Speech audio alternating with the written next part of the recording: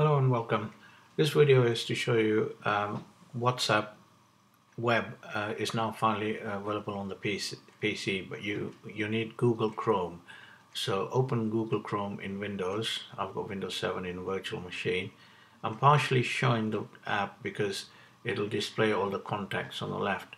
And all you've got to do is open your WhatsApp um, on your Android phone and then once you see all your WhatsApp chats go to the bottom left for settings and you'll you'll you get series of options where you got contact settings status and there's a new link added called WhatsApp web.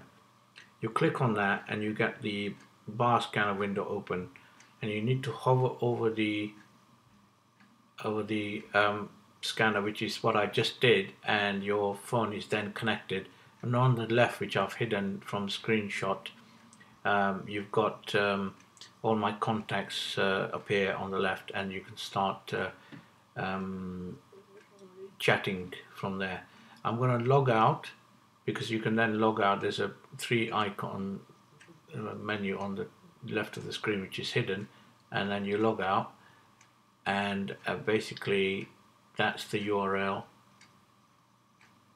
that takes you to this barcode scan and all your contacts come up here and then when you get the three icons you can log out from there. So fantastic. In Google Chrome where Windows uh, PC um, it works as you can see from there. And uh, you can leave your phone on the side and start uh, working from there. Uh, hope you like the video. Thanks for watching. Um, bye for now